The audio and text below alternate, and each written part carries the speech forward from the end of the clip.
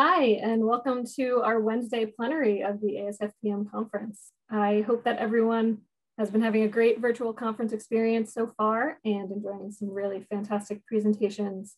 My name is Eileen Shader. I am Director of Restoration for American Rivers, where I lead our organization's efforts to promote equitable, integrated, and nature-based flood management solutions. I also serve as co-chair of the Natural and Beneficial Functions Committee for ASFPM.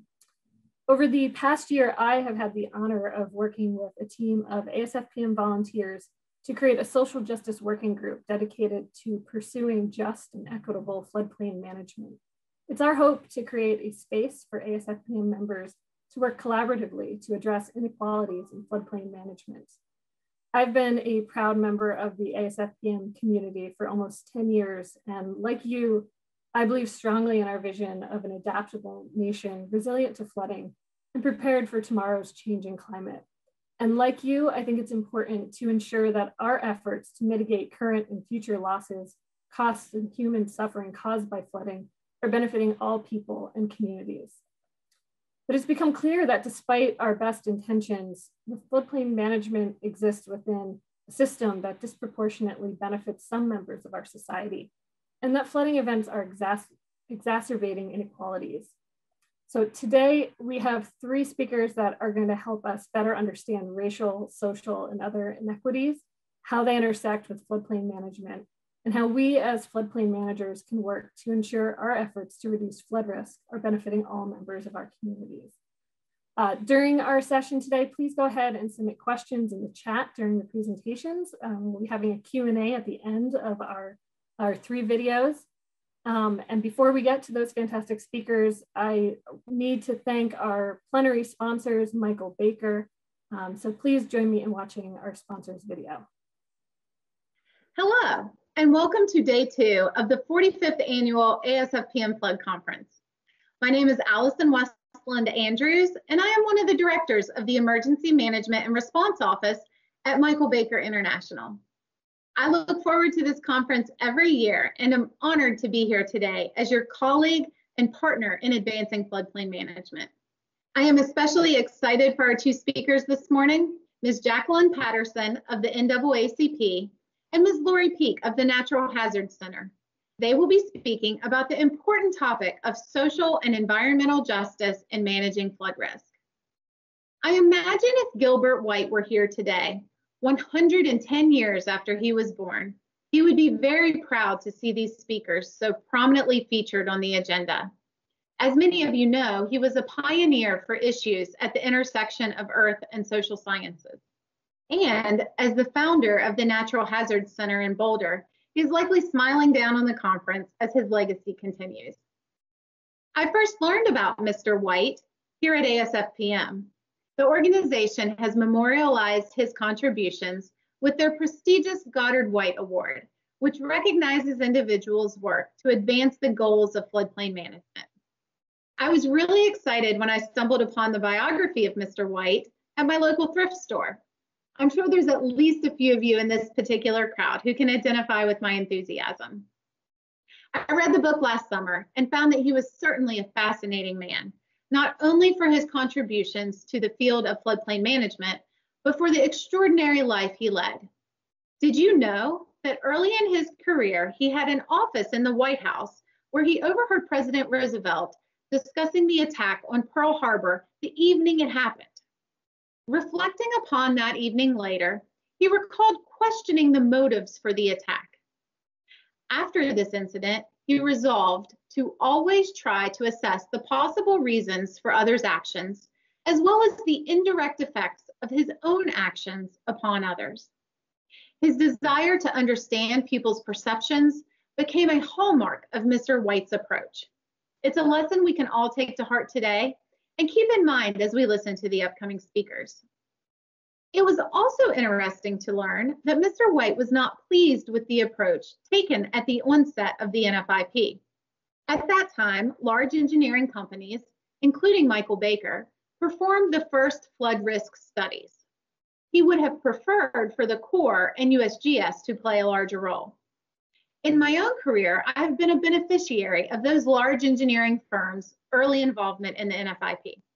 I have learned from individuals who have devoted their careers to floodplain management and who ignited a spark in me to follow the same path. The one thing that connects us all is water. It's a necessity and one of FEMA's lifelines, essential to human health and safety. However, it is truly a multifaceted natural resource. As we all know, water is also a source of hazards. A peaceful river can quickly spread further into our world, causing flooding and destruction. That is where we are called to intercede to make the communities where we work and live safer. We do it by creating 2D modeling, communicating about flood risk, or galvanizing mitigation action. We understand the risks associated with water, and we are all key players in supporting communities as they manage their risks and safeguard people and property. At Michael Baker, we strive to bring new and innovative solutions to address these challenges by harnessing the knowledge of our people to make a difference. As we gather here virtually again this year, we invite you to visit our booth and engage with our team to learn more. Please ask them what they are doing to advance our joint mission to reduce the nation's flood losses. We look forward to solving challenges together, always looking toward a brighter and better future for everyone. Thank you and enjoy the rest of the conference.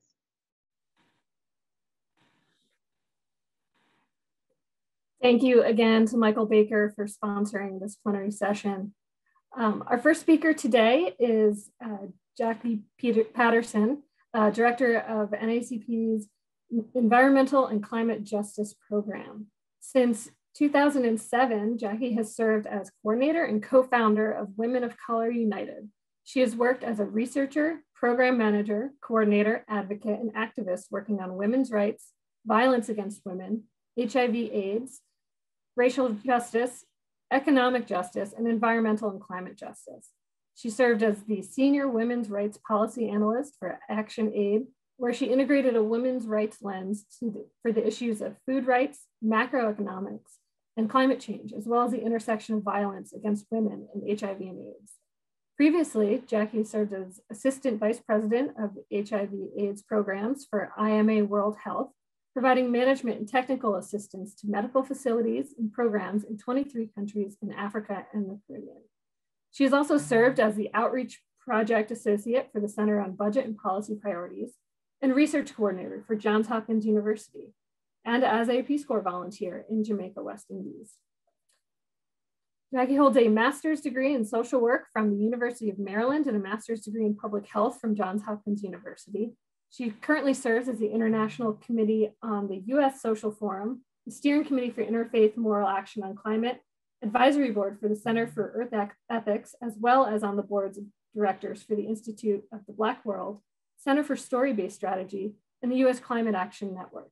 I am thrilled to have Jackie speaking with us today. So without further ado, let's roll her presentation.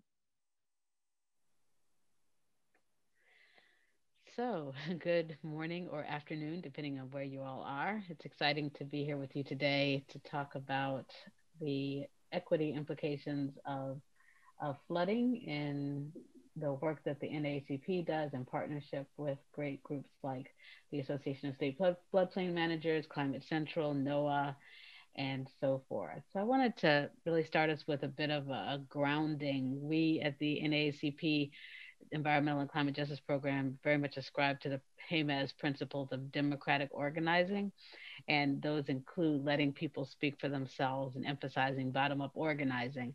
And so I always like to start my presentations with the voices of the, the people who are impacted by whatever it is I'm talking about, because often I'm telling people stories when I'd love for people to be able to tell their own stories and so uh, that's not necessarily practical for for these various presentations but as a as a proxy or a, a substitute at least then i show video clips where people are telling their stories so i'm going to start off with one from a, a um, film called trouble the water where it was really um, shot by these folks who were going through the aftermath of hurricane katrina and they were telling it from their own um, perspective through their own kind of handheld webcams.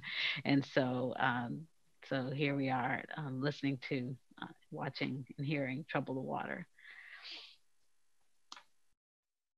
My name is Scott Michael Roberts. This is my wife, Kimberly Roberts. We're New from Orleans. New Orleans, the Ninth Ward, underwater. And they say on the news that it's like aiming toward Mississippi, so we might get the outskirts. That's the sky. It look pretty now, but it sure soon will change. Girl, I hear some thunder. Golly, look at that water, boy.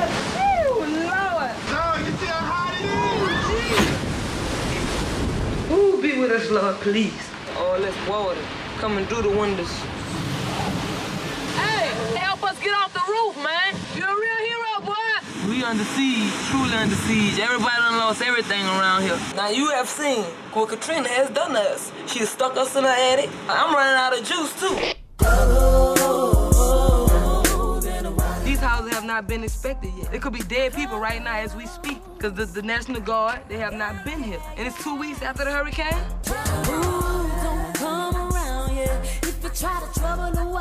This is one of the Navy bases that Bush had planned to close down. Why can't we stay overnight? What about the women and children? They said, get off our property or we're gonna start shooting.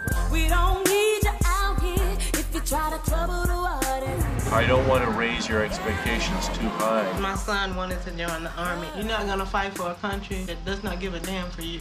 Don't come to our town if you try to trouble the water. The hood always be last to be fixed. I'm living life after Katrina. It's hard out here. You gonna make it one. Okay, we all gonna make it. Down south, hustling, they gon' trouble the water. I got that heat, but they ass. I urge the citizens to continue to listen to the local authorities. It's our home, our food, our neighbors, our problem. That's where I want to be at.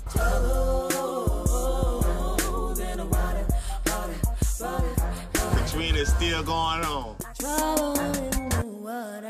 Night walk. So hopefully that gave you a bit of a sense of what that looked like for people who are who are having this uh, the frontline experience with flooding and and what, which I'm sure many of you already have have have uh, experienced, but just wanted to get us grounded in that.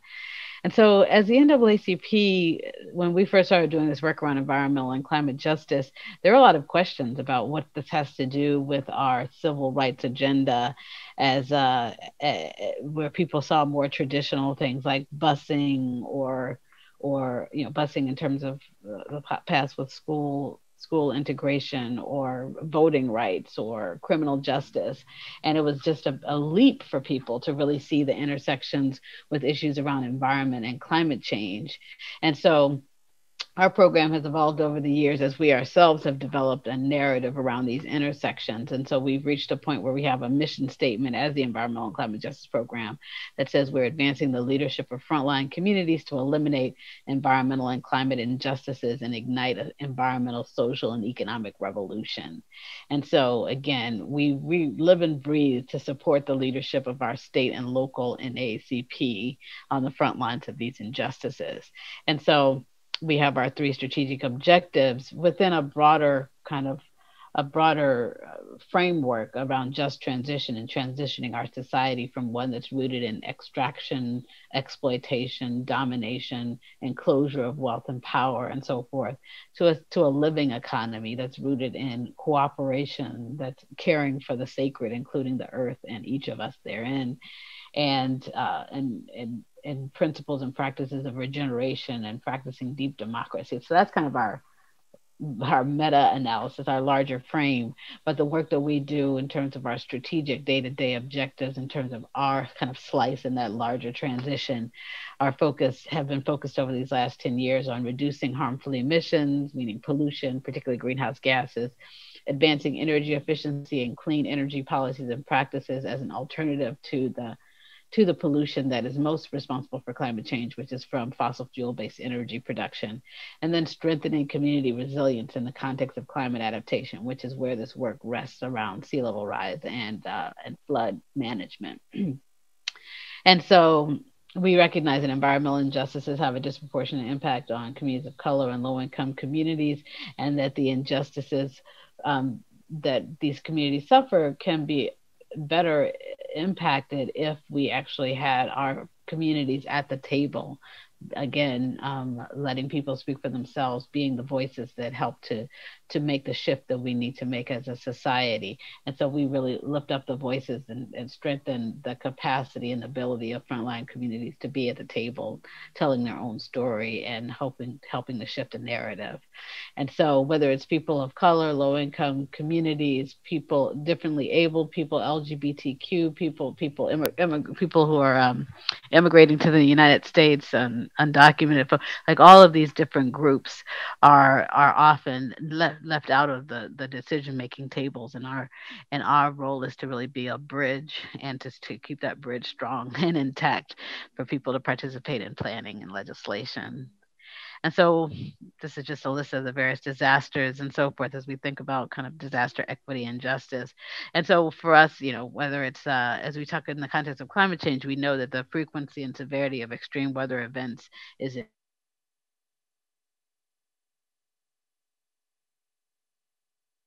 storms, but we know also snow and other types of uh, flooding is is going to be increasing with uh, with with climate change. It's already increasing, and we also know that sea level rise is, is being um, is is intensifying, and so we're seeing people being displaced by flooding and so forth and even in the Maldives, they actually had a cabinet meeting underwater in that upper right hand corner is kind of a picture of that. After they built a seawall, it wasn't quite enough as the seas continued to rise. So they actually, in 2009, had a cabinet meeting underwater to say, in 20 years, this is literally where we're going to be. So they were having conversations about having to move their entire populace to the Solomon Islands or Papua New Guinea, or they've been negotiating with these different governments to actually have to move their entire population because their lands in less than 10 years are going to be uninhabitable.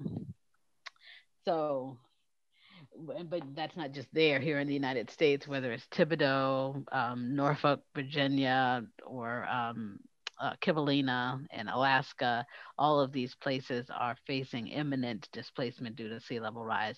And we also know that already the Isle de Jean Charles Band of the Biloxi, Chitimacha, Choctaw um, have been displaced in southern Louisiana by the combination of sea level rise and, and uh, the land sinking because of subsidence.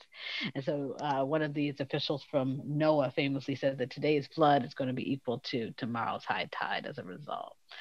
So I'll show you this other video, which is really helping to, to, to, to, really shine a light on these systemic inequities that are, that are making it so that certain communities are most impacted Eh, negatively by these um, by these disasters and the ways that these communities are, are constantly kind of being pushed back from being able to move ahead because of these systemic inequities. So this video kind of tells that picture.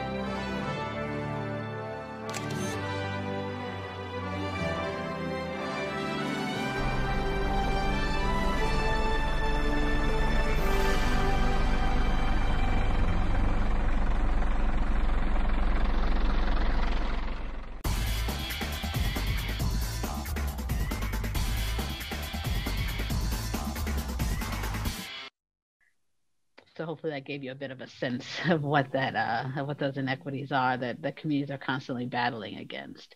So we see how it plays out with uh, with the with the store not being able to have housing stock that makes us resistant to the storms and not being able to recover from storms because of lack of insurance, being next to toxic facilities. So when disasters happen, we're more likely to be harmed by if these are un- overtaken by water or wind damage or whatever um, the the the kind of dire uh, the, the, dire circumstances that result in these kind of dramatic rescues for our communities because we're more likely to be in floodplains, less likely to be mobile.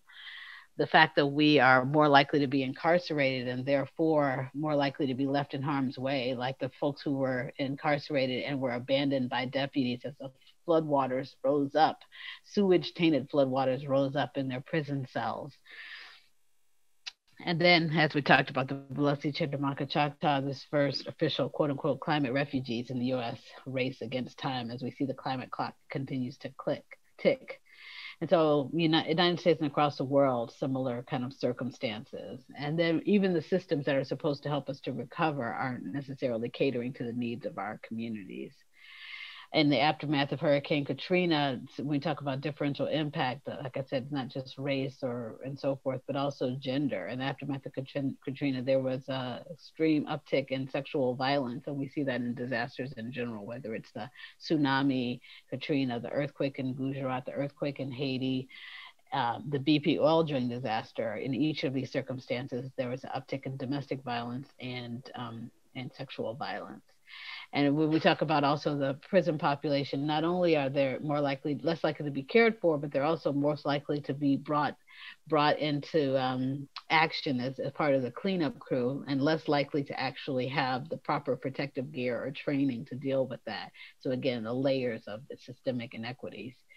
And then of course being undercompensated um, for being put in harm's way and um and, and so we when we talk about the racial dynamics this is an image that i show because i was after in the after, aftermath of the uh, flooding and tornadoes of 2011 i took this picture because it just struck me of all the people who were there um, giving out food. They were all white and the people who were lined up at the table who were look who needed food were all african american. And so that just really struck me in terms of the disparity of who was able to bounce back who wasn't impacted in the first place who who has needs in the times of the, the disaster aftermath. And then this told the same similar story. After this is inside that building is where the people were inside getting the food, and outside on the stage are the people from the Red Cross, FEMA, the local government who had the information, who had the resources, who knew the ser- where the services were to be provided, and lined up at the mic down to a person. Every little, every last person in this particular moment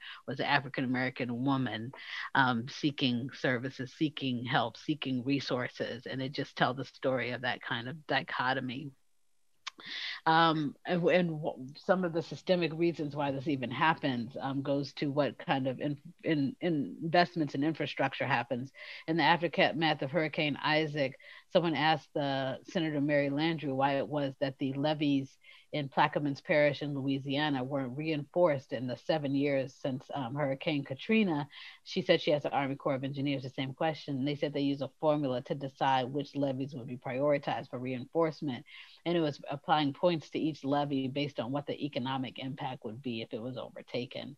So it's another situation where it literally legislates that the people who have the the the most in the way of resistance um, or you know or or resilience to this type of thing. People with higher higher income properties and so forth higher value properties are the ones who are get the protection or who are going to get the protection and those who have the least ability to protect themselves people who are living in floodplains with substandard housing stock and so forth are going to get the least protection. So it's literally legislated through that formula then we also look at other layers like the race and the the two folks who were just two images from Associated Press. One showed um, white folks who were quote unquote wading through chest, deep floodwaters after finding bread and soda from a local grocery store. But when it was a young African American man, it said the young man walked through chest deep floodwaters after looting a grocery store.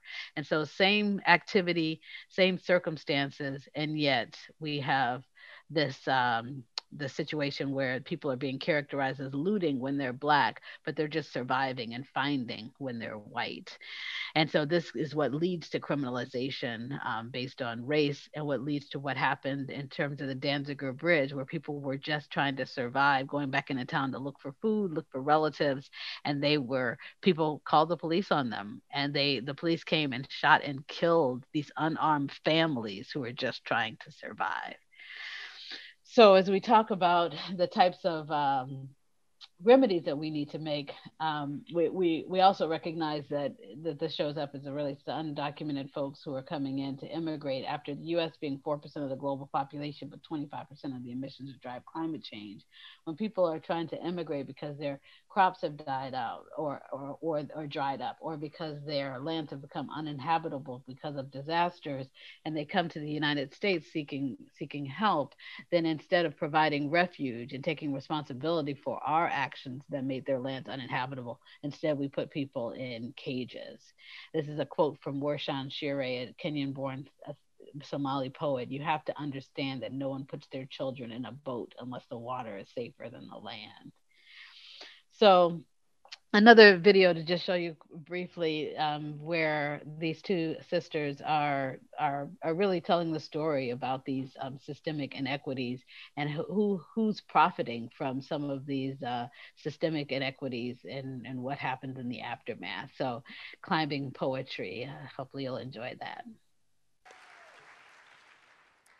they are selling the, the rain. rain. They are leasing the rivers. They are auctioning off the ocean to, to the highest bidders as giant chunks of the polar ice cap dislodge from the North Pole. And tourists flock to the site to take pictures. There is disaster tourism, like this disaster profiteering off the torrential storms and the warring and the wrath of global warming. Who will get paid to rebuild, and who will they build for? Who will endure the, the drought and the rain? Who will be safe and sound indoors? Who built the missiles, the smart bombs, the rockets? Who gets raided? And who gets paid from whose pockets? Who gets sent off to war? Who dies for whose profits? Who gets remembered? Who's been forgotten?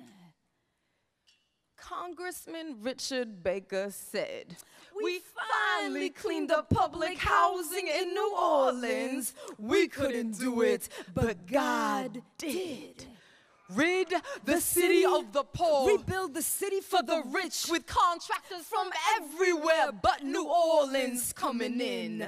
Folks in the projects were forced to evacuate even where Katrina didn't hit. Then armed guards blocked the doorways, wouldn't let the residents back in. Demolition scheduled while people live in tents under I-10. And thousands driven out the south are still scattered across the states as New Orleans is looted by profiteers who want to make over its face. Flood the lower ninth to save the wealthier estates as Mississippi renovates with slot machines and condos. So you gotta win the lotto if you plan to keep your place.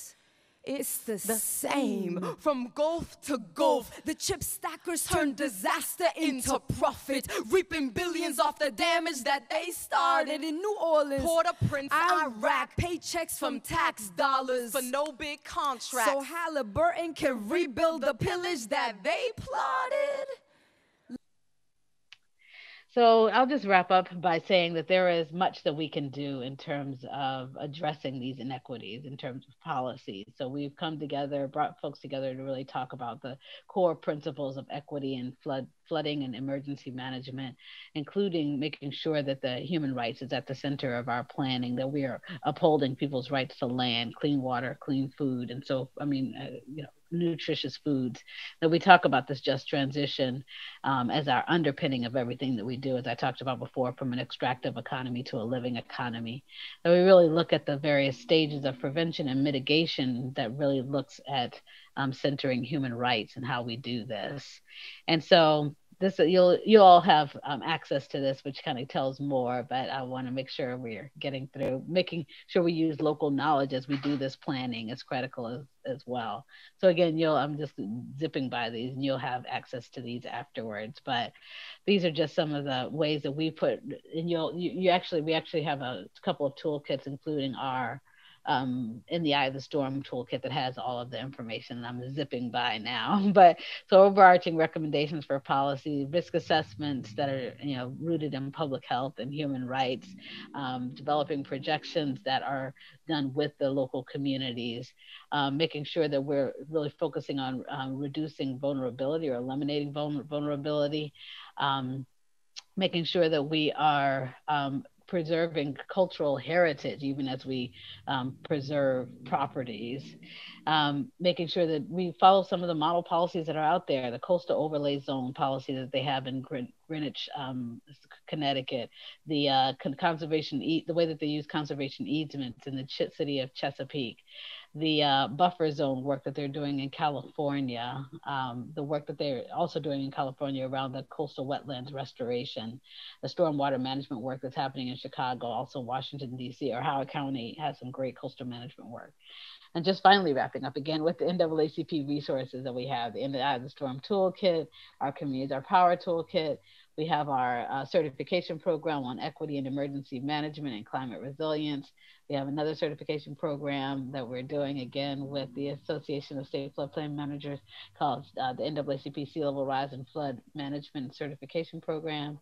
And then just wrapping up with the type of ways that we need to think about how we do this engagement. So we're all working together, making sure that we're rooted in anti-oppression um, design, uh, cultural sensitivity, that we are really rooted our rooting our work in intersectionality and tackling root causes, building on local knowledge and leadership, and that we are thinking even in terms of the practical things, making sure that we're providing information in an accessible way, organizing meetings in an accessible way. So this is just an image of the NAA, what, what happens when it works. The NAACP in Florida holding up their certificates that they got from doing this two-day training that we did. Um, so their their uh, certificates from FEMA. So looking forward to our Q&A together and thank you all so much for listening. Take care.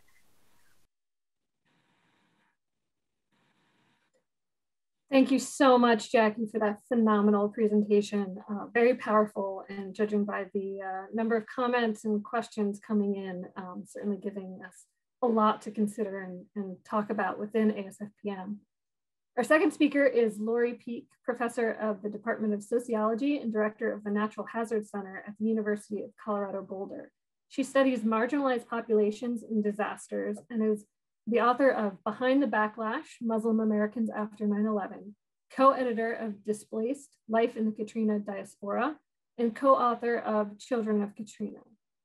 He also helped develop and write school safety guidance for the United States, which resulted in the publication of FEMA's uh, P1000 Safer, Stronger, Smarter, a guide to improving school natural hazard safety. She's the director of the National National Science Foundation funded Converge facility, which is dedicated to improving research coordination and advancing the ethical conduct and scientific rigor of disaster research. She also leads the NSF supported social science extreme events research and inter interdisciplinary science and engineering extreme events research networks. She was recently nominated by President Biden to serve on the board of directors for the National Institute of Building Sciences and is the past president of the International Sociological Association Research Committee on Disasters, and past chair of the American Sociological Association section on environmental sociology. She's a board member uh, for the Bill Anderson Fund, which is an initiative dedicated to increasing the number of persons of color in hazards mitigation and disaster research. Uh, she received her PhD in sociology from the University of Colorado Boulder in 2005. I was able to attend my first Natural Hazard Center workshop last year and was blown away by Lori's ability to gracefully and thoughtfully center data-driven justice and equity in discussions of natural hazards mitigation. Um, so I'm thrilled to uh, have her here to speak with us today. Uh, Lori Peek. Thank you so much to ASFPM for inviting me to be a part of this panel focused on social and environmental justice in managing flood risk. I am so honored to be here with you today. I want to actually open my presentation today with a question that I know that many of us have grappled with in our research as well as our practice. How much does mitigation actually save? And an accompanying question, how can we best articulate the social value of mitigation? I think these questions are incredibly important and they grow ever more pressing by the day because we are trapped in a disaster loss spiral in the United States where losses from floods, hurricanes, earthquakes, wildfire, and other hazards currently average over $100 billion per year. And in 2017 alone, for example, these losses exceeded 300 billion. This disaster loss spiral now affects millions of Americans annually, where uh, 89 million of our fellow residents are exposed to hurricane hazards, 56 million to earthquake, 3 million to wildland urban interface fires, and 4 million to floods. And of those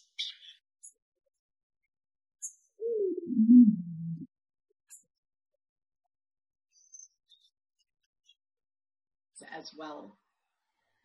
And of course, not all people are exposed equally, with those at the margins of society, including the poor, people of color, children, the elderly, and others with fewer resources and less power bearing disproportionate harm when disaster does. These are also the groups that we know have the hardest time recovering. And so, with that context in mind, I return to the central focusing question for this presentation of how much does mitigation actually save?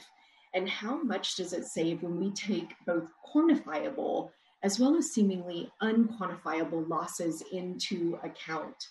So, how much does mitigation save when we move beyond the buildings and also begin talking about the diverse people who can perhaps most benefit from mitigation actions? So, to answer our question of how much does mitigation actually save, I think it is crucial that we couple the most rigorous statistical analyses and the most robust data that's available with stories. Not only because this might give us even better science when we couple statistics with stories, but also because that is where I think we can begin to make the most compelling argument for the social value of mitigation when we provide those hard numbers to people, but we also soften them with words and narratives that actually matter in the context of people's lives. And so let's start out with those numbers. Um, as I know many of you are aware, the Natural Hazard Mitigation Saves 2019 report represents the most exhaustive available benefit cost analysis of natural hazard mitigation, from adopting up to date building codes and exceeding codes to addressing the retrofit of existing buildings and the utility of transportation infrastructure.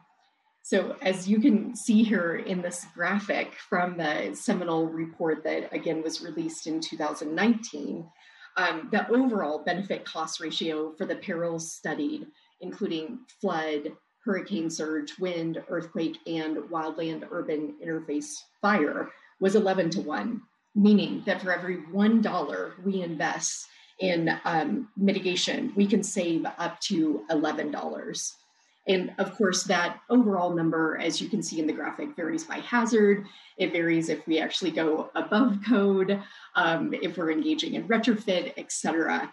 But the message across hazard type and across mitigation intervention is clear that mitigation does save. But then we return back to this question of how much does mitigation actually save? because as com- comprehensive and as extraordinarily important as those analyses from the 2019 report are, one of the things that the uh, report authors who are leading researchers and practitioners in this area acknowledge is the following, and I'm going to quote chapter four of this report at length because I think it's making a really important point that I'm hoping we can consider more thoroughly today. So, in chapter four, the authors write the following that disaster researchers have not yet produced a systematic method to quantify all losses that occur in a disaster. So, we know, for example, that disasters disconnect people from friends, schools, work, and familiar places. They ruin family photos and heirlooms and alter relationships. Large disasters may cause permanent harm to culture and one's way of life and impact most socially and financially marginal people. Disasters may have long term consequences for health and collective well being. These events also often hurt and kill pets and destroy natural ecosystems that are integral parts of communities. Disasters clearly disrupt life's arc in ways that are hard to express, let alone assign monetary worth. Even the potential for future disasters affects people's peace of mind. Mitigation saves more than is estimated in this report. And so, one of the takeaways, right, that the authors are offering us is that for as powerful as those numbers are, and as much as we need to use them when we are working in communities and with diverse people trying to express the social value of mitigation, it's important that we never lose sight of the fact that those numbers are conservative estimates that aren't yet capturing all that can be saved when we mitigate from the harm that can be caused by natural hazards.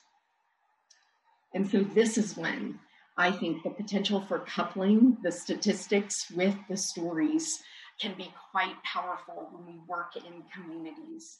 And to that end, I actually want to share with you now a story from one of the hundreds of children who fellow sociologist Alice Fothergill and I interviewed and followed for many years following Hurricane Katrina. And in our book, Children of Katrina, we trace the experiences and the recovery trajectories of a sample of young people who were living in New Orleans at the time of Hurricane Katrina and found their lives upended by that disaster. And so now I want to introduce you to one of the boys who we write about in Children of Katrina and who we've had the honor of knowing in the many years since the storm.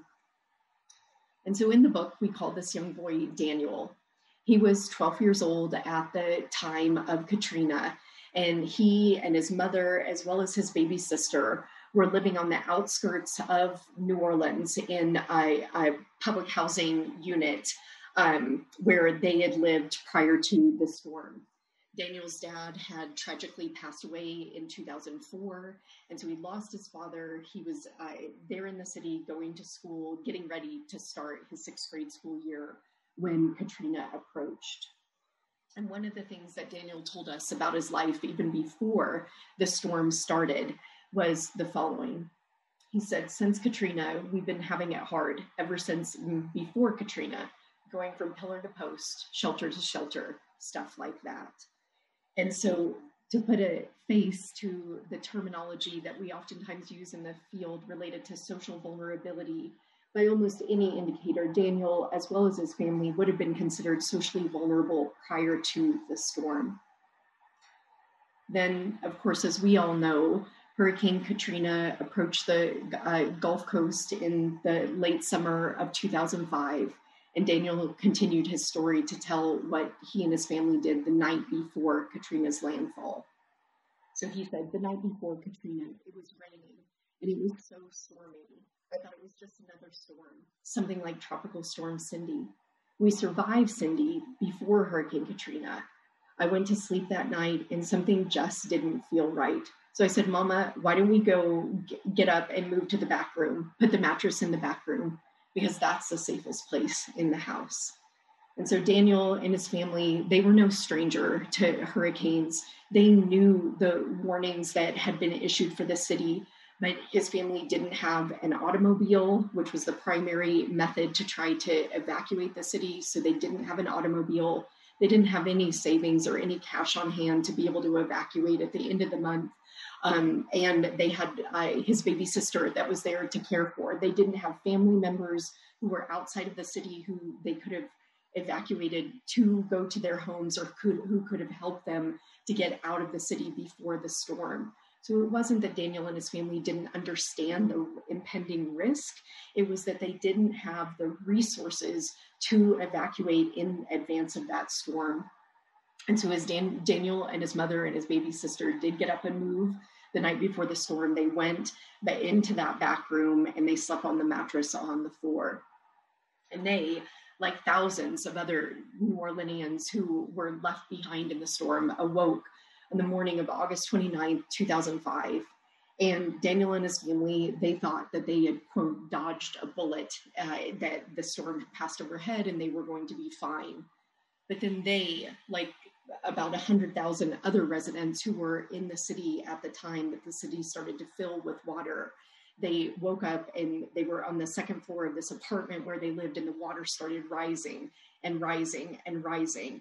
And it was Daniel who was the one who came up with an idea because his mother um, was getting increasingly agitated because she had the baby sister to care for. And so he actually took a bed sheet, he tied the baby sister to his mother's chest, and then because Daniel could swim, he helped to navigate them through the water. They ended up seeking shelter at the Superdome, and after five days in the city, they were eventually evacuated via van to a shelter in Baton Rouge. And so Daniel's story typifies what we refer to in Children of Katrina as cumulative vulnerability. And so this is something I think is really important as floodplain managers as we're working in communities before, during, and potentially after a disaster to think about that pre-existing status of the persons who we're working with, to think about experiences in disaster, and then to think about how that uh, affects post-disaster recovery experiences. So to draw on Daniel's experience again and to help to illustrate this concept of cumulative vulnerability, before the disaster, again, Daniel and his family, they were living in a low income household. They had few resources, limited social networks, um, limited educational, social, and cultural capital to draw on in terms of mitigating or preparing for disaster. Then during the disaster, we know that oftentimes people who are in the most vulnerable states then experience the most life threatening um, evacuations in disaster, they're the most likely to be exposed to life threat, to experience additional trauma in the context of a disaster. And then after a disaster, we can see these additional uh, vulnerability factors that continue to accumulate. So, a lack of savings, a lack of resources to draw on to prompt recovery, uh, displacement experiences that can further disrupt an already disrupted life, and so forth. And so this is just a visual representation about thinking, uh, for thinking about vulnerability and how vulnerability isn't a static state. It's not attached to uh, just a, a single person or a group of people. Instead, vulnerability is dynamic and it's something that can build and accumulate over time. For Daniel and his family, one of the ways that Katrina what exacerbated their pre existing state was that they ended up being displaced multiple times. So New Orleans was the city where Daniel and his little sister were born. It was the only place he had ever lived before Katrina.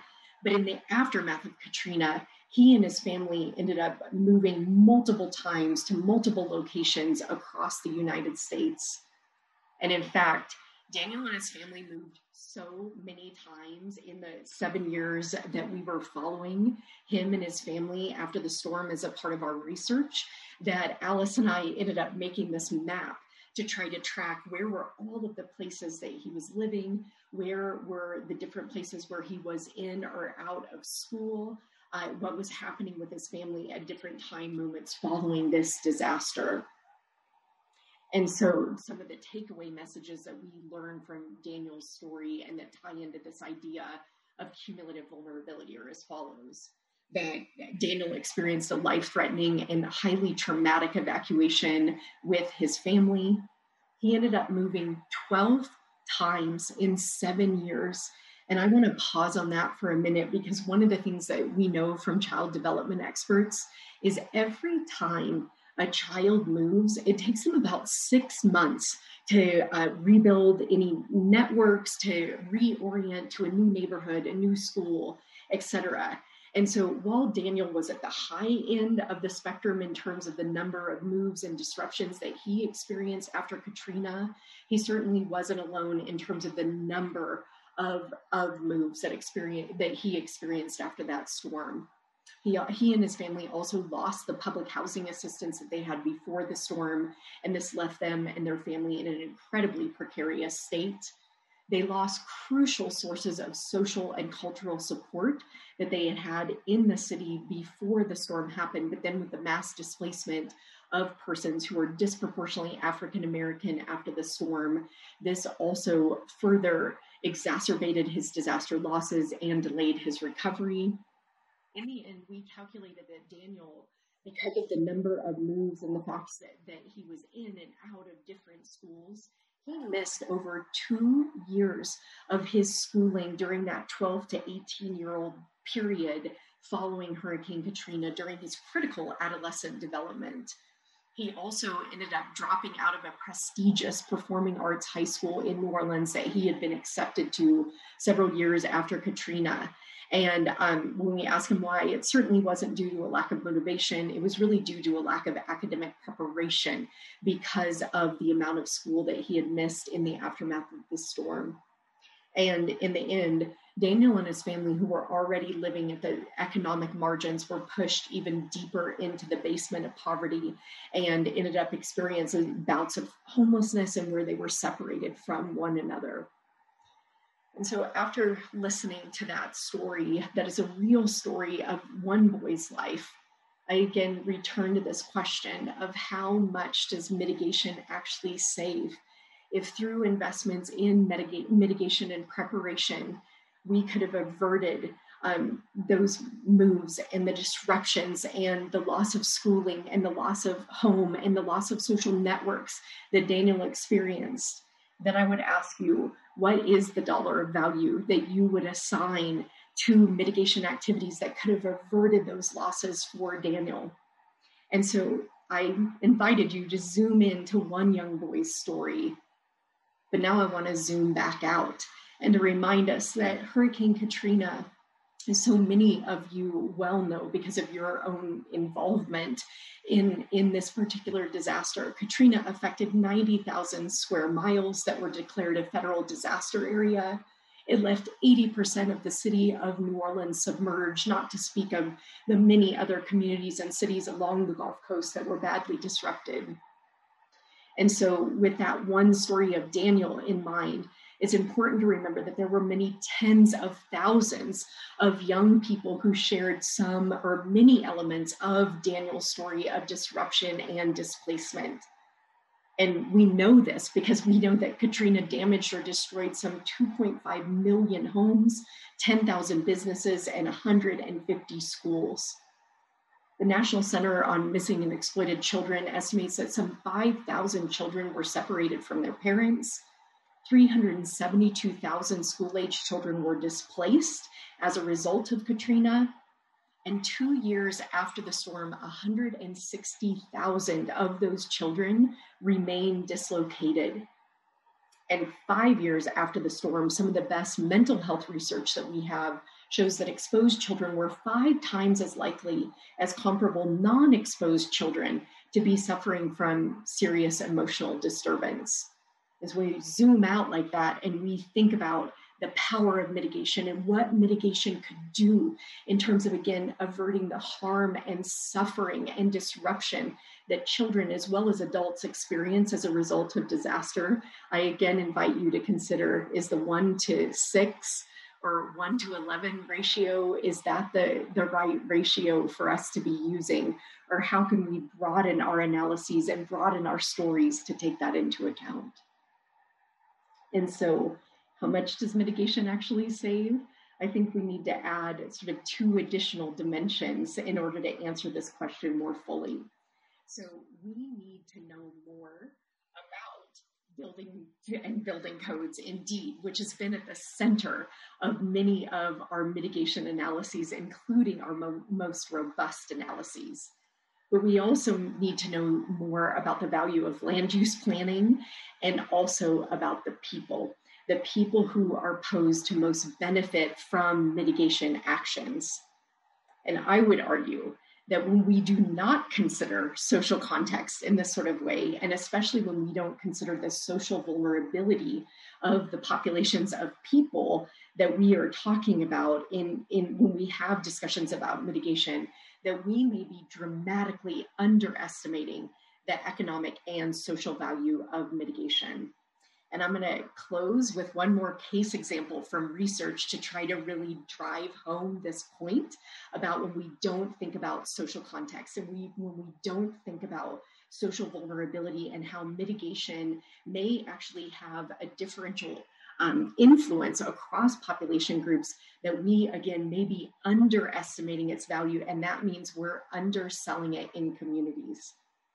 And so the additional case example I want to give you is actually at the opposite end of the spectrum of the qualitative uh, case study example I gave you from Children of Katrina. Now I'm going to give you an example from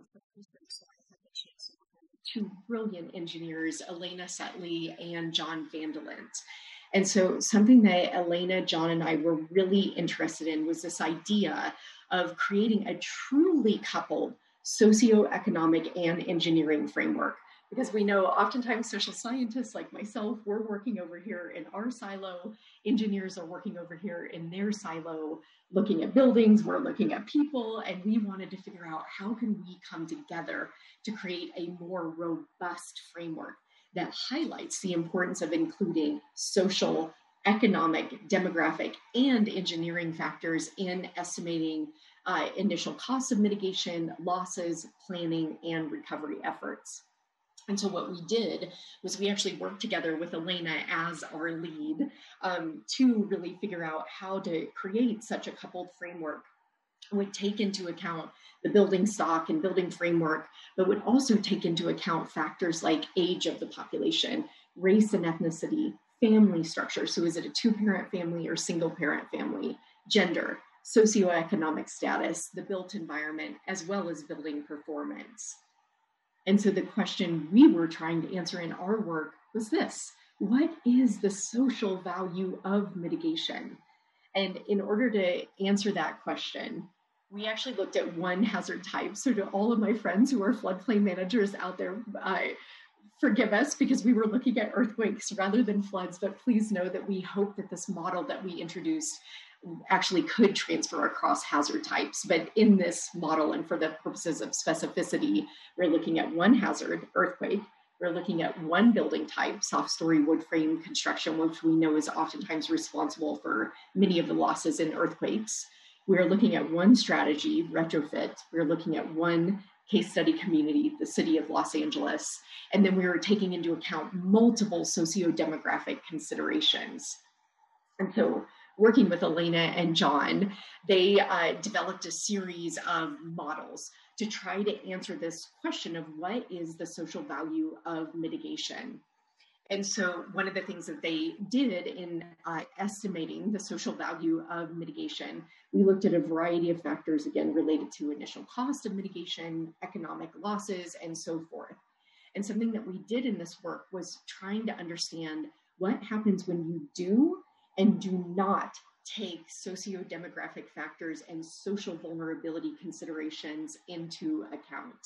And I would be more than happy to share the papers that talk about the model and have the analyses.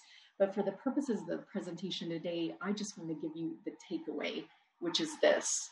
So when we do take uh, social vulnerability and social demographic characteristics into account, when it comes to trying to understand the value of retrofit as one major form of mitigation, one of our big takeaway findings is that mitigation is indeed about reducing economic loss, but it's also about improving social justice outcomes. And so, what do I mean when I say that? Something we showed in this model is that when you start to take these differences into account, the percentages look relatively small. So there's sort of a 2% gain when you think about uh, when you bring the social variables into account. But one of the arguments that we make is that while these look like small percentages, these percent differences actually equate to somewhere between 1.1 billion and 200 million for each percent change. And what that meant was, in total in this model, was that over $43 billion could be saved through engaging in the retrofit strategies that we were looking at in the work. We did a similar modeling for looking at reducing deaths, injury, and PTSD and what happens in our model when we do and don't take into account social factors. And so again, you can sort of see there were these different percent differences that emerge when you start taking into account social factors. And again, our takeaway mitigation is about reducing harm and injury, but it's also about improving social justice outcomes because we know, and we showed in this work, that the persons who are disproportionately likely to be injured or harmed or are the poor, people of color, and other persons at the margins of society. And one of the key findings of our work was that over 30,000 people, including the most vulnerable, could be saved from injury, fatality, or PTSD um, in the context of the scenario in Los Angeles in an earthquake hazard. And so mitigation is about speeding recovery and enhancing social justice in communities. And we found that to illustrate this point, that retrofitting in our case study reduced recovery time by 52% or some 61 weeks. And so this was all a way of showing that again, when we don't consider socio-demographic factors, that we're actually underestimating the power of mitigation. And when we consider socio-demographic factors, what we're really saying is we're considering people and we're thinking about the diverse people who are in communities. And so in the end, what are the takeaway messages that I'd like to leave with today? And I hope we will have time to discuss during the Q&A. And I'm especially eager to hear about what is working and what's not working in your communities when it comes to telling the story of the power of mitigation and why mitigation matters so much. So in the end, it's important to remember that mitigation involves so much more than buildings that mitigation involves deeply human stories, and we need to tell those stories more often. We need to tell the stories of what happens when we don't mitigate. And that is the lesson of Daniel's story. What happens to people and the incredible disruption that can follow disaster. But we also need to tell the story of what can happen when we do mitigate and people are able to remain in their homes, running their businesses, kids remain in school, and so forth. And so these are deeply human stories that move beyond the built environment into our social world and what matters in people's lives, in addition to the buildings where they live. Second takeaway we know that current best estimates of what mitigation saves actually underestimate the social and cultural value of mitigation. Almost everyone agrees on this fact that it's not that the work isn't fantastic that's out there, it's just that it's really hard to measure many of the dimensions of our social life. And that means that it's important that when we're using those numbers, we never lose sight of the fact that they are still not even, they're not coming close to capturing all that mitigation can actually save. Third takeaway those underestimates are even greater when we don't consider population diversity, social vulnerability, and social justice goals that may be related to mitigation. And so, if the poor and the marginalized are the ones who suffer first and worst in disasters, then we can think about how mitigation can actually be applied as a tool in our communities to reduce social vulnerability and also to advance social and economic justice goals. Fourth takeaway we are living in a time of radical economic inequality where a very small number of people at the top uh, possess disproportionate wealth, resources, and other uh, goods of great value. And so, what that means is that many, many millions of Americans are living in poverty or near po- poverty. And so, this is a time of radical inequality.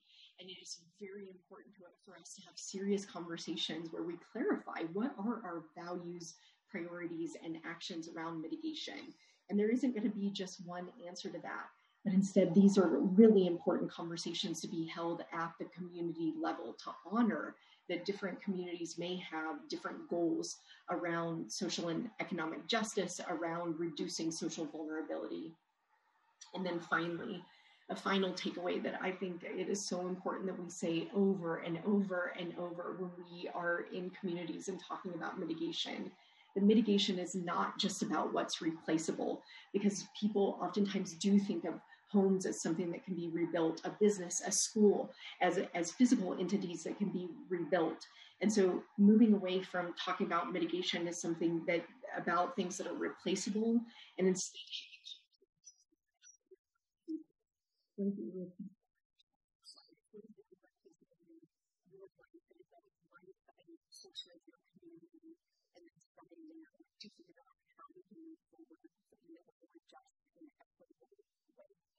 Thank you so much for listening today.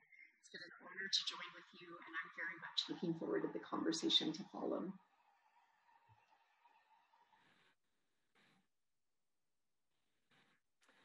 Thank you, Lori. Our final speaker today, um, before we transition to the Q&A, is uh, Paul Huang from uh, serve, currently serving in the role of Acting Associate Administrator of Resilience at FEMA. In, in his prior position as the Assistant Administrator for the Federal Insurance Directorate, uh, he supported the National Flood Insurance for, excuse me, the National Flood Insurance Hazard Mitigation Planning Program and the Dam Safety Program with the goal of providing quality data that increases risk awareness that ultimately drives mitigation actions in communities, resulting in long-term resiliency. Uh, he is the uh, Department of Homeland Security Level 3 Program Manager and holds a BS in Management Science and Information Systems, as well as a Master's in Business Administration. Been working in the field of flood hazard mapping, insurance, and mitigation for over 10 years, and previously was an information technology consultant. Thank you so much uh, for joining us today to talk more about FEMA's efforts to advance justice and equity. Hi, everyone. This is Paul Huang. Um, currently, the Acting Associate Administrator for Resilience at FEMA. Uh, ASFPM is one of my favorite conferences, and reflecting in my 15 years at FEMA, uh, I believe it's the conference I have gone to the most. And I miss seeing everyone in person and a lot of the networking uh, and connecting that we do in the hallways typically at ASFPM. Uh, but this is a great opportunity to get more engaged, uh, get more folks engaged, and ensure that we're safe. Um, so I hope to see you guys soon in person, perhaps in the near future. Um, but thank you so much for always having a great agenda, um, some fantastic topics, and being such good partners to FEMA. As you know, the Biden administration has identified seven immediate priorities, including COVID 19, economy, equity, climate change, healthcare, immigration, and, and restoring America's global standing. You know, today's topic is one that is absolutely in one of that those priorities, which is equity, and it's a space that is near and dear to my heart. Um, we've seen it year in year out. When I go out to the field and you meet families, uh, you not just only see it with your eyes, but you see it with data. That the the storms and, and the impacts of severe weather and, and climate um, disproportionately affect those uh, most socially vulnerable and most in need. And it's unfortunate we have to make a change, and I'm glad it's a priority in this administration. Um, so excited to, to see change, and we're already starting to see change, but there's a lot more to do. I'd like to start with just a quick story. I mean, I'm a for those that know me, I'm a huge Warren Buffett fan. When I was getting my MBA over a decade ago, I was able to go shadow him for a day. So I've been a loyalist ever since. And uh, just a couple weekends ago, uh, the Berkshire Hathaway annual meeting in which Warren Buffett talks for three and a half hours and takes questions was on. So he's fresh in my mind. But when we met him, we knew that he was going to give away most of his fortune. Uh, the man's worth a hundred billion plus dollars, and he's uh, uh, earmarked 99.7% of that money to go to charities. So it's fantastic and uh, a great a gift to society. So we asked him why he was doing that after accumulating all this wealth over the years. Why are you giving it away? And his answer was really simple. He said uh, he felt that he was lucky. And he, he told a story in which said there was a if there was a baby in a womb that was a, a genie visited and the genie said hey you look like a special child i'm going to grant you a wish uh, and the baby says what's the wish and, and he says you're going to be able to be born into any society that uh, that you'd like. And the baby says, well, what's the catch? And the catch really is that the genie says you can be born uh, poor or rich, a minority in your community. You could be born with one parent or two. You could have a disability. You you have no idea what kind of society would you like to be born in. And of course, that baby would want to be born in a society where they haven't even shot, no matter the circumstance they were born into. Right. So he's giving away his money to create a more equitable society, which I really love.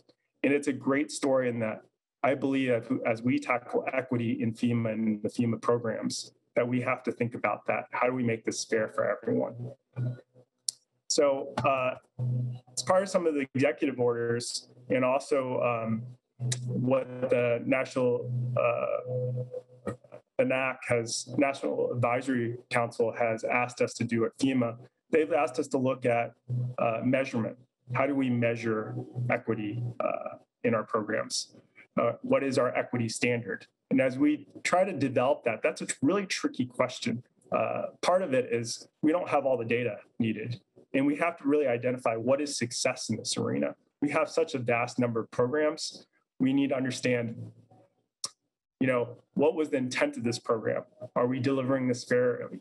Are there barriers? So if we started by creating an executive steering committee at FEMA, uh, that executive uh, enterprise steering group is really going to look at a definition for equity across the agency. It's also going to look at our plans and policies to ensure that we're effectively integrating equity in all we do. Additionally, we're collecting data. This is tricky. Um, we recently launched the National Risk Index, which includes a social vulnerability layer, but there often our programs don't classically collect information like income or race. So collecting that and, and ensuring that we protect the privacy of those that we're supporting is a, as a real balance that we'll have to, to think about when we develop this equity standard. We're open to your suggestions and help on what this equity standard could be, and in particular programs, what success looks like. And those are really good questions that we need to start asking and, and collecting insights on before we land on what that equity standard could be. We're always trying to do things. Uh, I'd like to tell another example of, of something I've been thinking about and that's barriers into our programs. Uh, and they're very simple. Um, during the COVID event, uh, one of the good things about COVID, you know, maybe not so good, is my kids only go to school four days a week, and two days of those are virtual. Um, they get Mondays off. So one day we're going to look back and, and, say, hey, kids, we used to go to school five days a week. Um, but that one day off has been really great in that we asked the kids, and they actually found it themselves to volunteer their time. So every Monday, I take them out around noon and they volunteer for two hours at a local church. Uh, it's a food pantry. So one day, I dropped them off and I went across the street to, to the grocery store and I walked in and there was blackberries on sale for 99 cents, normally about $3. And it said, use a digital coupon. So I grabbed a, a tin of blackberries. Um, another lady uh, in front of me also grabbed the same pint of blackberries. And as we were checking out later, she was getting rung up um, at the cashier cash, cash, cash register, and uh, they rang up as three dollars. And she said, "Hey, I thought they were ninety nine cents." And the cashier said, uh, "Ma'am, you have to use the digital coupon." And she said, "I don't know how to do that. How do I use a digital coupon?" And he said, "Well, you have to have the app, and then you have to download the coupon, and tie it to your card. And she had no idea. That that barrier alone made her say, you know what? I don't want those blackberries. And I thought to myself, is this fair? You know, did we create a barrier here where I was easily I was able and capable because I had the technology um, and the access to to use that coupon, and she didn't. That didn't seem fair to me. And I even reflected more as I left that line thinking, gosh, how lucky am I to have access to these things? How lucky am I that I have the ability to go buy groceries and not really blink an eye about what the bill looks like while my kids across the street are filling bags and bags of food for uh, those that can't afford food for their families. It could be very easily that I, I through no circum, no doing of my own, be in the circumstance in which I would be in the line trying to get the, the food across the street, or that I wouldn't have the capabilities of actually accessing something as silly as a digital coupon, right? So it made me think about what barriers do we have in our programs uh, that create in, inequity and fairness. Uh, I saw that firsthand um, a couple weeks ago when I was able to visit our Atlanta Community Vaccination Center. As many of you guys know, uh, we're helping FEMA is helping lead the efforts uh, on COVID 19 vaccinations, and we've established community vaccination centers across the country. It's such a great uh, effort because we've thought about delivering this in an equitable way. And when you put that lens on, you start delivering in a different way. Um, so the first thing we did was we have a committee um, in the National Response Center that is working to look at data, to talk interagency, to talk to locals and states, to look at demographics, to figure out where best to locate these so that we're locating in areas where there is social vulnerable, socially vulnerable communities, minority communities, and ensuring that these sites have good accessibility. So when I, when I went down to Atlanta, the site was actually at the Mercedes-Benz Stadium, home of the Atlanta Falcons. And they located there because of the demographics. It was, it's adjacent to a very social vulnerable community. It's a large minority community, and it had public transport. So people could come and get their shots. Additionally, we started thinking about okay, when do we need to open these centers? And it's not eight to five. We open as early as six in some days and close as late as midnight on others to make sure that those that are working perhaps hourly jobs um, that can't break away from work regular hours could have the time and the ability to access uh, a vaccine shot. Additionally, back to that BlackBerry example, uh, knowing that everyone doesn't have the technology or the time or the expertise to um, to sign up and schedule an appointment, we opened walk-up lines, and walk-up lines were available to anyone. Uh, in fact, the wait times were only eight to ten minutes. The biggest obstacle is me putting in the day I volunteered, uh, putting in everyone's data. I, I, registered two homeless individuals myself, and we didn't turn away anyone. Uh, so you could get in line, no questions asked, 10 minutes, uh, get your shot, sit in the waiting area, um, and you're, you're good. Come back a couple weeks later. It was a great example of if we have a common goal, we can work the whole community, both the private sector with Arthur Blank Sports, uh, who was giving us the stadium rent free, the local government, Fulton County, uh, Georgia Emergency Management, and FEMA, Department of uh, Defense, National Guard. It was a great uh, whole community effort with a common goal and common mission delivered in the lens of equity. And I really think that is the model in which we need to start thinking about our programs. Another area that I want to talk about is in the in the space that you guys are very familiar with, with the National Flood Insurance Program. We're delivering Risk Rating 2.0 equity in action this year. It's a great way to look at policy and understand that within our policy controls, um, we can fix inequities. So how we rate premiums for the last 40, 50 years has been inequitable in that we've never considered home values. Uh, the example I like to provide is my home is luckily a, I'm fortunate enough to have a fill-in home, right, that is uh, new and very expensive next to my neighbor's 1950s home, which is about half the value. We are at the exact same flood risk, but we, and we pay the exact same premium. The, the the reality is an inch of water in my home would cost the National Flood Insurance Program a lot more than my neighbor's home. So we should really, to be fair, consider their home value and have them pay a lower premium. So we're addressing that inequity in our programs, and that's a really important thing. And we're going to see that across the nation. In addition, we're working closely with the administration and the Hill on affordability solutions through statute. So we got to look at our policies. We have to look at our uh, regulations, and we have to look at our statutes, statutes to fix these inequities. If you think about what we're doing in the National Flood Insurance Program around home values, let's apply that to our large grant programs, where cost benefit is one of the biggest drivers to winning, right, uh, a grant. But of course, the benefit is greater when the home value or the structure or the infrastructure is more expensive, which tends to through, I don't think, any type of malintent, favor those homes and those structures and those communities that are actually more expensive and well off. Um, so we have to fix those inequities as well. We're already starting with the Building Resilient Infrastructure Communities program. Um, I'm excited that in our first year, we're already looking at giving, we've already uh, have said that we're giving points to both look at future conditions and climate change, but also to give points to social vulnerable, socially vulnerable communities, low and impoverished communities, and to provide more technical assistance and help so that we can help those uh, communities that have less means uh, get the right assistance to shape their projects and be competitive for future grants. So there's so much we can do um, in the equity space.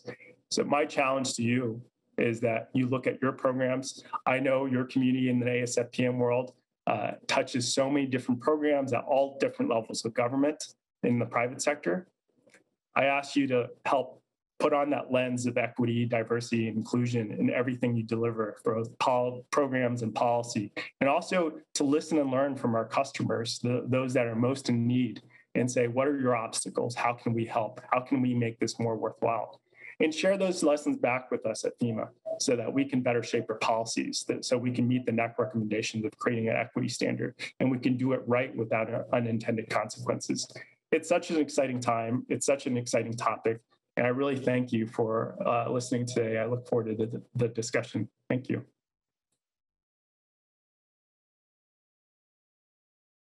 Paul, thank you so much for those really fantastic presentations. We have had a ton of activity within the chat, lots of fantastic questions. Um, so I wanted to get us started by um, asking one of the questions that I think got the most uh, thumbs up and attention.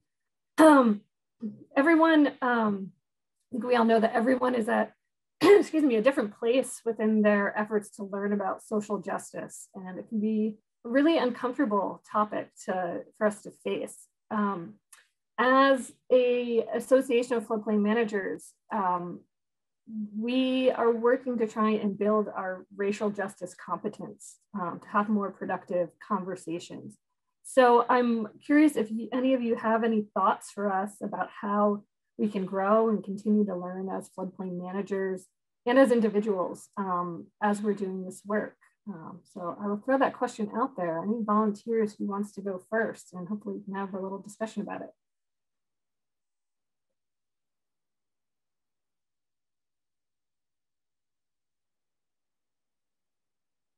Anyone first? Jackie or Lori? Paul? Who has thoughts? I'll jump in. I mean, I would say Paul. this is a great start. Having a session, a plenary on this topic, having some great speakers like Jackie and Lori present um, starts a dialogue. And at FEMA, you know, we've always thought about things like equity and social justice, but not with that as the first lens to look through right? So we think about our outcomes and our programs, but we've recently started saying, let's look at our outcomes and our programs with a lens of quality. And when we start doing that, it starts opening your eyes up to things that we thought were good outcomes, but have driven perhaps unintended consequences. So uh, I'd encourage ASFPM just to continue to learn, to listen, and to dialogue with experts. Um, so the more listening we do and the more learning we do, and we're trying to do that at FEMA over the last year. Um, we've actually we have a grassroots group that I'm the executive sponsor for. It's a, a coalition of the uh, of the willing we call it around equity, and it's been really through a tough year, a great forum to less listen and learn uh, and have a discussion, a really safe space to have a discussion about really hard issues. Um, and I, I love this one rule that we use, which is you're allowed to make mistakes, uh, but let's keep each other accountable, right? And if you go in with a lens of equity in what we're delivering and what we're doing, if you think about unintended consequences, um, so looking more holistically, and if you have a safe place to kind of say, I'm going to ask some questions that are making that may make you uncomfortable, or talk about things that may make you uncomfortable, and I might say something wrong it's okay. And but it's also okay and the right thing to do to keep each other accountable to say that wasn't right. That wasn't the right way to say it. And let me tell you why.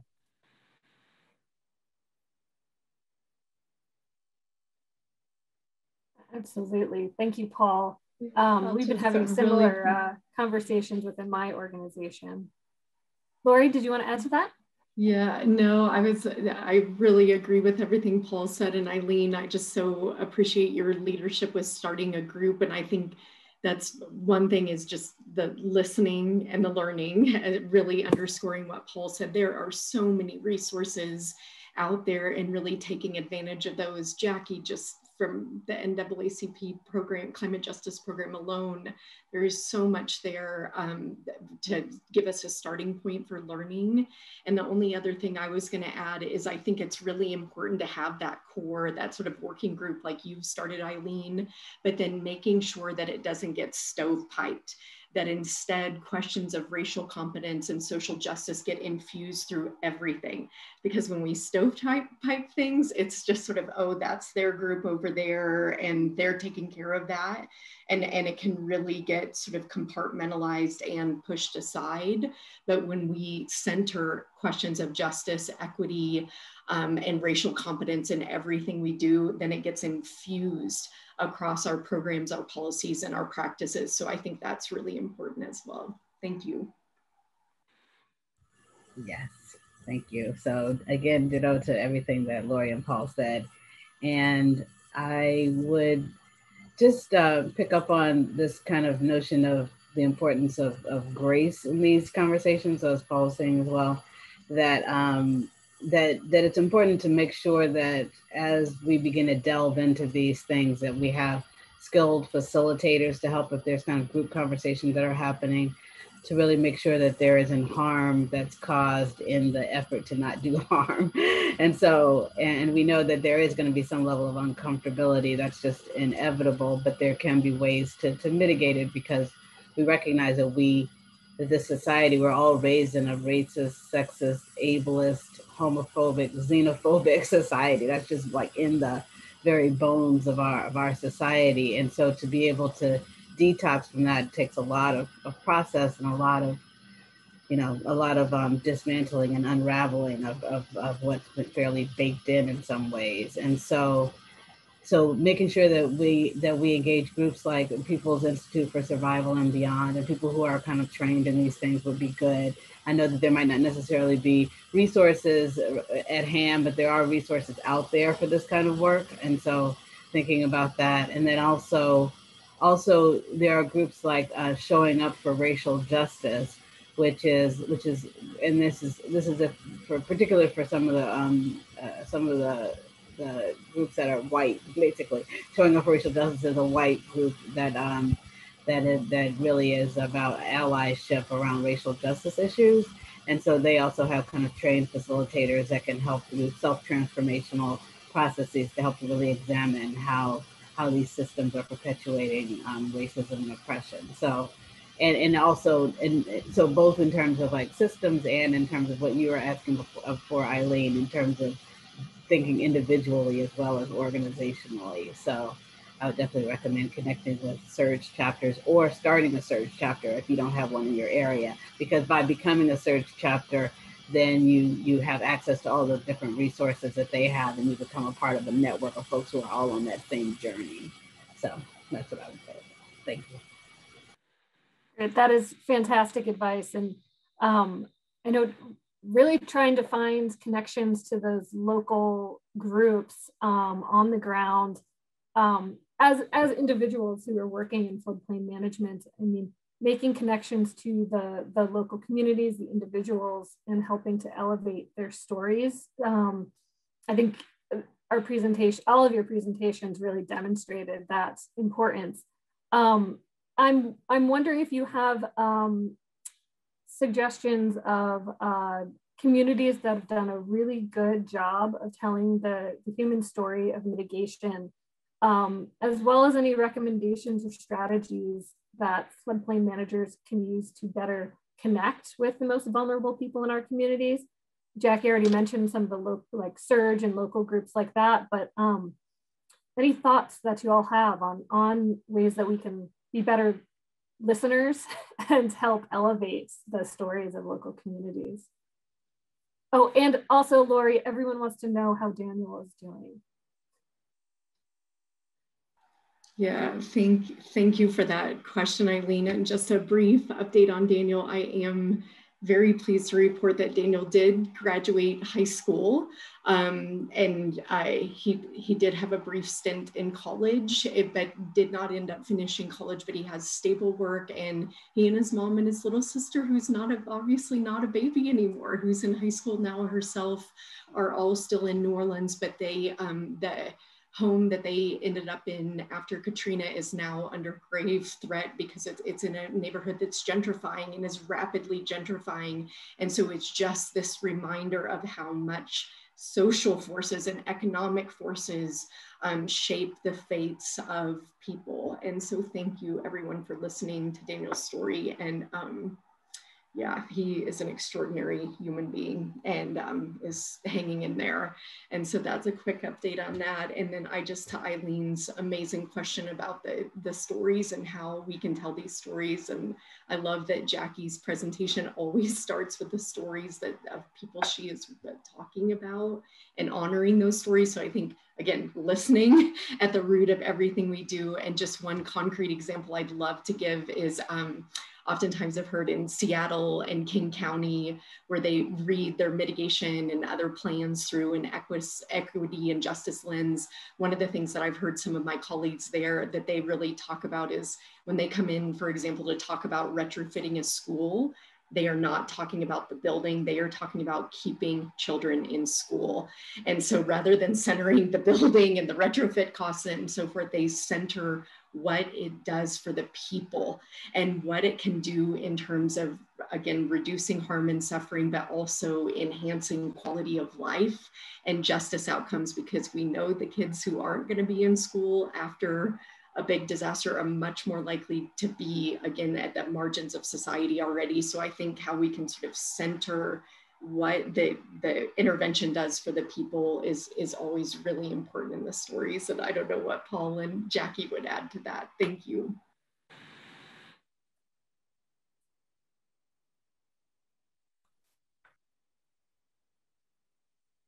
It's a great question. I think uh, my example um, about the cvcs the community vaccination centers was really about working with locals. Because if you try to do things just from a national headquarters perspective and you've not been in that community and you don't know the influencers you don't know the culture you don't know um, you know kind of what's happening it's you can make a national policy and then apply it improperly and uh, the story that I, I would tell is, is probably not one around floodplain management but remember um, admiral allen uh, I got to talk with him once, and and his last federal disaster was Joplin. And I said, "How did you talk uh, about mitigation uh, with the city of Joplin?" And he said, "You don't.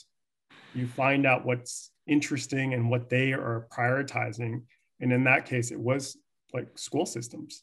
They wanted a sc- strong school system. So you don't. You could go in and say." Hey, let's spend a lot of money rebuilding this in a safe way, right? Uh, that doesn't resonate versus the same thing could be done by saying, you know, disruption to school systems lowers the standard of learning. If you want a good, uh, uh, a good school system, then you really need to think about continuity planning, how to, what happens when your schools go down, how, how quickly can you reestablish them, safe rooms in those communities, uh, those type of things. And now you're saying the same thing with a focus to the community's priorities, right? Now you layer equity on top of that, and we have to be fair brokers. This is why you need to get um, groups like Jackie's involved to talk about okay, are those the right priorities for our community? But does start there because you know if you don't focus on what the local need is, I think there is going to be very little action. All right, Jackie, anything to add to that? We are about almost at time, but I'll let you get the last word in. Okay. Yeah, no, I was just going to say, in terms of an example, I would point to um, to the Gullah Geechee Nation and the St. Helena Island, work closely with Climate Central and others to to to develop to to really look at their to have community leadership in in assessing their flood risk, mapping their flood risk. They talked. They they're now in talks and, and active planning about putting together uh, Climate Central putting together an app for them um, around assessing flood risk. And so this is uh, this is the kind of partnership where they're in the lead. They're saying what the needs are. Climate Central is serving as a technical partner, really following their their lead. And I would say those are the principles that I would uh, that I would put forward, and the practices that I would put forward as as uh, as, as, examples of what both Paul and, and Lori were saying. And I um, and I would say just to that to that uh, end in terms of thinking of that universally with all the different um, Association of State Floodplain Manager members is that whether it's NAACP branches or local church groups like United Methodist Women or other EJ groups, that there, there's groups out there, frontline uh, frontline folks, and if you know your community, hopefully you would be able to to find those groups. But those are some places, that national organizations that have those those branches and chapters that I would start with. Thank you. I really wish we could continue this conversation, but unfortunately, we're at time.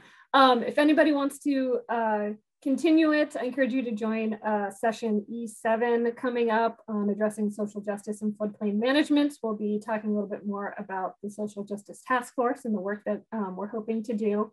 Um, so a big virtual round of applause for all of our speakers. We really appreciate you.